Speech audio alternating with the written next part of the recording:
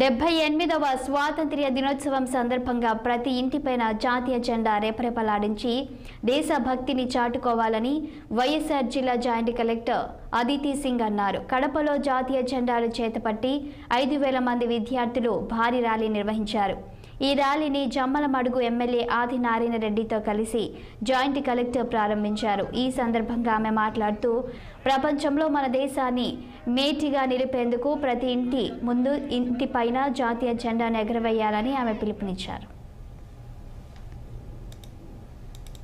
తిరంగా ఈరోజు హర్ ఘర్ తిరంగా కార్యక్రమాల్లో భాగంగా మన కడప జిల్లాలో ఒక ర్యాలీ ఆర్గనైజ్ చేయడం జరుగుతుంది. దీంట్లో దాదాపు ఐదు వేల స్టూడెంట్స్ పాల్గొంటున్నారు.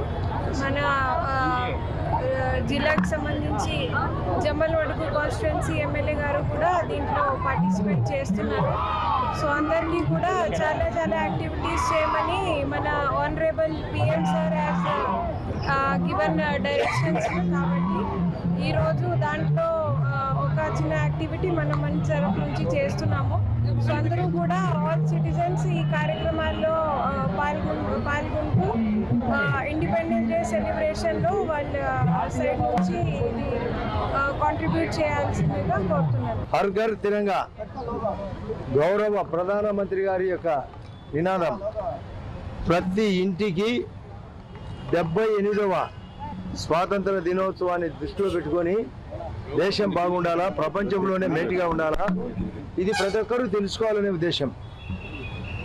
అందులో భాగమే ఈరోజు కడపలో ఈ ర్యాలీ కార్యక్రమం. ఇక్కడ కోటిరెడ్డి సర్కిల్ నుండి గాంధీ విగ్రహం వరకు సెవెన్ రోడ్స్ దాటి పాత కలెక్టరేట్ దాటి ఈ కార్యక్రమంలో అందరూ ఉత్సాహంగా పాల్గొనడానికి భారీ ఎత్తున స్టూడెంట్స్ కానీ ప్రజలు కానీ మేధావులు కానీ విచ్చేసినందుకు చాలా సంతోషం. ఈరోజు